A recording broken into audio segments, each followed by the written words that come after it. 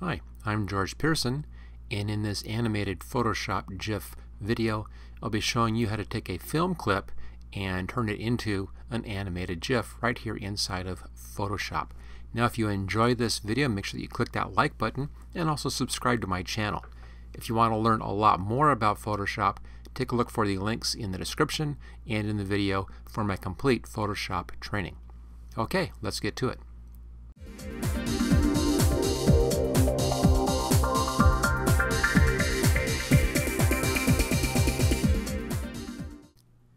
I have this Photoshop GIF animation running inside of an Internet Explorer web browser window, but we're going to be building the whole thing here inside of Photoshop. It's really a couple of basic steps. We're going to be importing video into a timeline in Photoshop, cleaning up that video selection so it has a nice looping aspect to it, doing any kind of video image adjustments, and then saving that out as the animated GIF. Alright, now the first thing we need to do is simply to get rid of this and then open up a new file. And the file we need to open is a video file and to bring video into Photoshop we'll go up here to File and come down to the Import feature right down here. Now I'm doing this in Photoshop CC 2017 but the same basic steps go back clear to at least Photoshop CS5. So this is you know, able to be done in a lot of different versions of Photoshop. What you want here is video frames to layers right down there. Let's bring that up. This will then bring up a browser window. Go ahead then and find your video. I have it right there.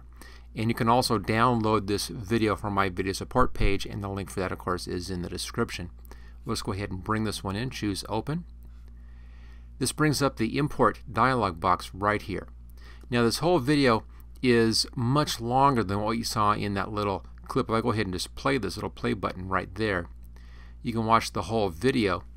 There's a lot of slow action going on here, and what you want to do is you want to find the spot that has a nice little bit of repeating imagery in it, where my little Maya cat there is basically running in a circle, and we'll then, there we are, right in there, and we'll use that little bit for the animation. Now you don't need to import the whole thing, you can't import just a piece of that. So we know about where it is, so it's right in here. So right about, starting right about there, maybe right, I'll start here. We can adjust the start and end points once we get this imported.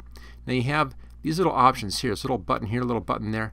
Pull those in, that's your start point, your start import point, and then I'll run it around a little bit back to there again. That's my endpoint right here. I'll pull the endpoint in.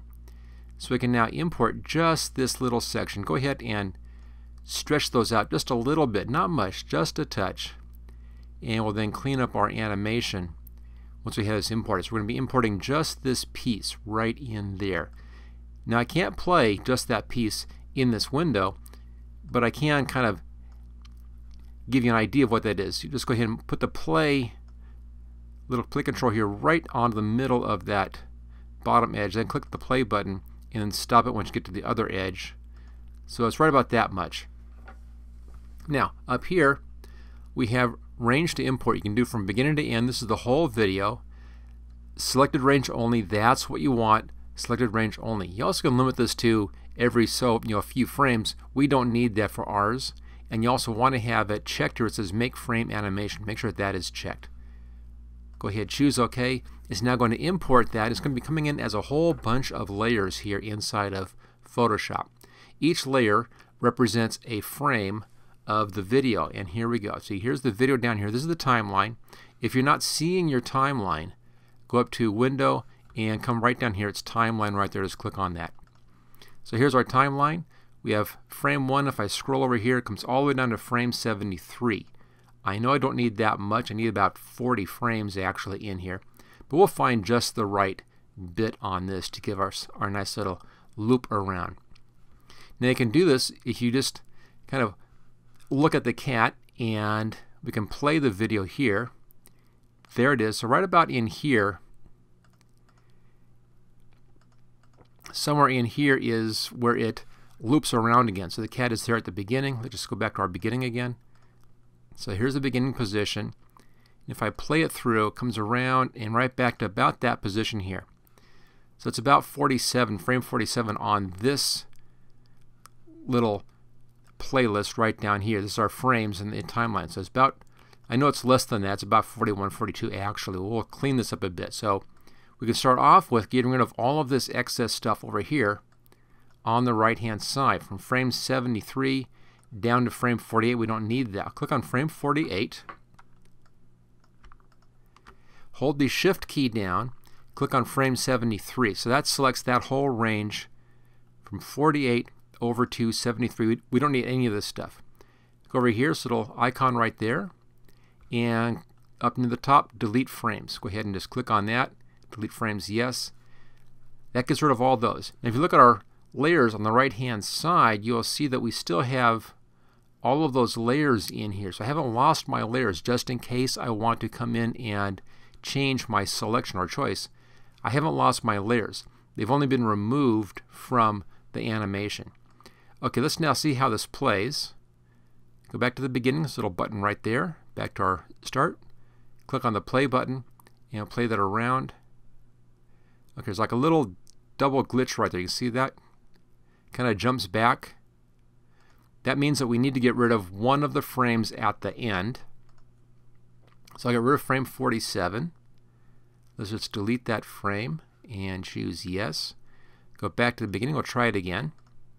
We'll see how we do. Here's still a little bit of a glitch there, so kind of jumping backwards a touch. There's also, of course, a slight shift in the overall picture, which we can't help that. That's a little camera shift. But I can try getting rid of one more frame in here. We'll see how this looks. Let's delete that frame. Choose OK. So we're just tweaking the ending frame on this. Let's see how we do here. Okay, still just a little bit of a jump backwards, like the cat jumps backwards. Let's come back and take off one more frame. And I'm trying to find just the right spot on this where the beginning and ending frames look. So here's frame 1. And then we're ending on 44. It's still too far. Let me see. It might be back at about frame 43. Looks pretty close. Notice there is a frame shift, the overall image shifts. We can't do anything about that. Maybe frame 41. Okay, I think 41 looks pretty good. So I'm going to get rid of 42 through 44. There we go. Click on your first one, hold the shift key down, click on your last one, and then delete those frames. Let's look at that again. There's frame 41. There's frame 1 should be just ahead of that. That looks pretty good. Let's click play and we'll see how that looks. Okay, there's a slight jump in there as the overall frame shifts, but I think that looks pretty good. Of course, it's not perfect because the cat didn't do a perfect circle, but it, it kind of has a nice flow on that one. So there we go. There's our cat circling around. That's the first thing. We have our basic flow for the animation. The next thing we want to do is we want to lighten the image up. This is obviously too dark in here. We can easily do that just scroll up here to the top layer over here in your layers and then let's put an adjustment layer above this. So go up here to layer, come down to new adjustment layer and levels right there. Now where it says use previous layer to create clipping mask, don't do that. Just leave that unchecked. Choose OK. Now pulling this control to the left, we can lighten the picture up to get nice Nice bright picture in there. You can increase contrast by pulling the ends in. So I can make my darks darker here a little bit, make my lights lighter. Just kind of increase the contrast a bit punchier this way, it looks a bit more exciting. Maybe adjust my values a touch. There we go. So this allows you to come in and control your values. Now if your values are too bright, you can use the bottom controls to tone that down. The right control will darken down the overall image. The left control kind of brightens up. It gets rid of the darks in the image. If your darks are too dark, move this one in. If your whites are too bright, move this one in. But all we need to do is the top controls in here. So it's our middle control over to the left a ways. I put it at 1.92. I pulled the blacks in a little bit at 7 and the whites in a bit at 176. Let's go back to the beginning, which is that button right there, and we'll play that. And there we are. Nice bright image. You can see everything nicely in here. Now if you need more adjustments you can do that. I could put a color adjustment above this.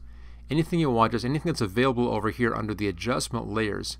You can use any of this to add adjustments onto your image.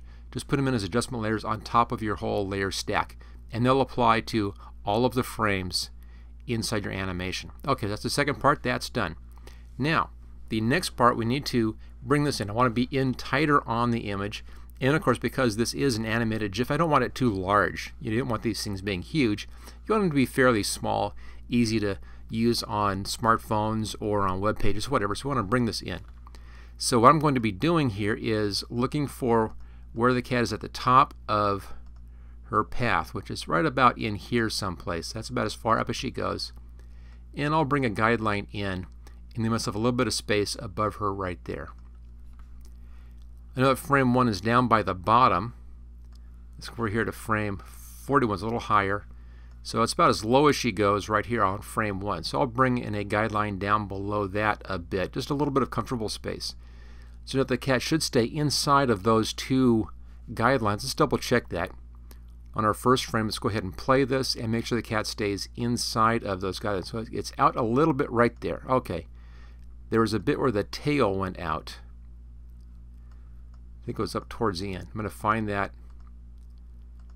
Okay, there's the tail goes up. That's about as high as it goes. So I'm going to pull this guideline up a little bit. So the tail always stays within our frame. There we are. Let's go ahead back to our beginning. Play again. Let's watch the bottom this time. And it looks like about here is about as low as the cat gets, right about here.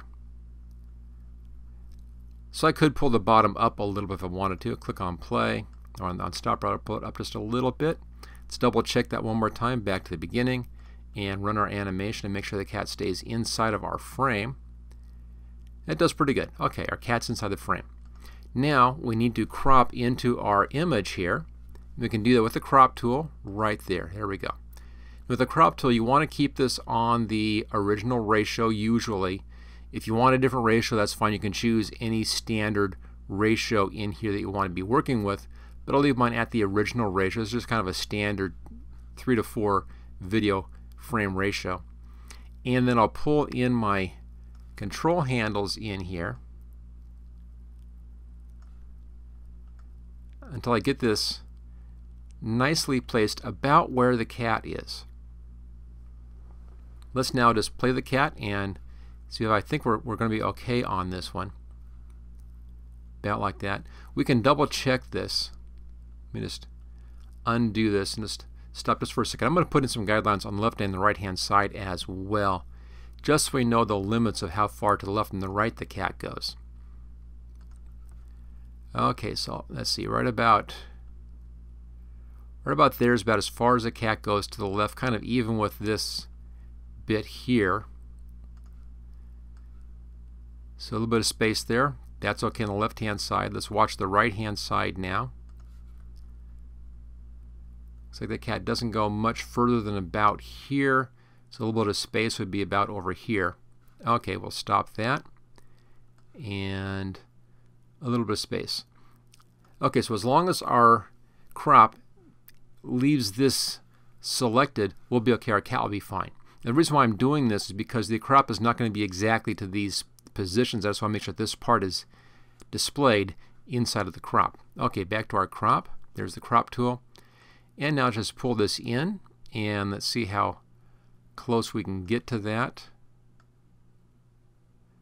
Just kind of pull it in from the bottom here until I get my edges. And I think right about there is pretty good. I'm actually pretty close on this.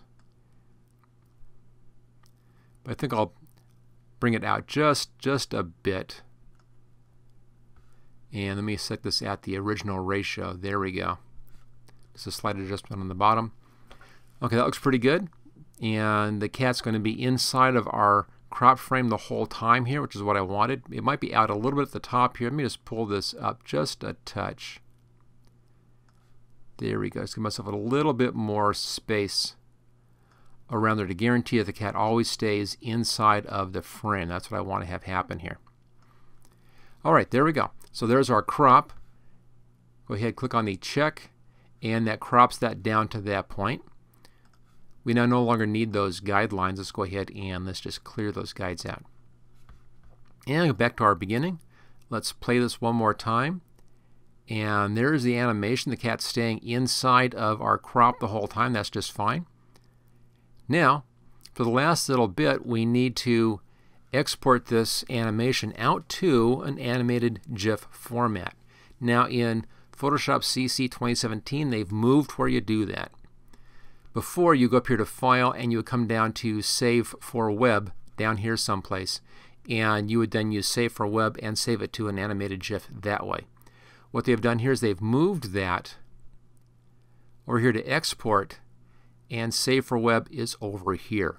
So if you're using an earlier version of Photoshop, you'll find Save for Web over here in the regular list. If you're in CC 2017, it's been moved over underneath the export and it's called Save for Web Legacy right there. Click on that. Brings up our Save for Web dialog box. Let me see if I can get this thing to fit completely in our window here. That's about as far as it goes. Oh, there we go. Everything we need is showing. Okay, at the top, set this at GIF, very top option up here. Set your colors at 256 and then down at the bottom down here we have animation. You want a looping animation, looping options. You can choose how many times you want us to play. Once, forever, or set in a specific number of loops. You know, three loops, five loops, whatever. I'll set mine at forever.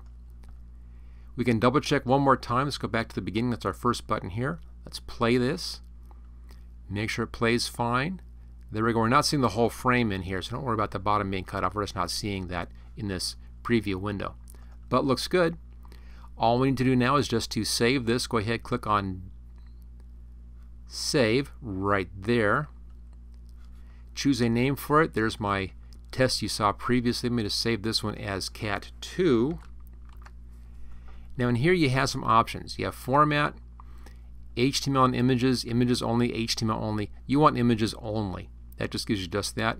And settings, leave these at default settings and you should be fine. When you're ready, just go ahead and click on Save. It's going to save that out as the animated GIF.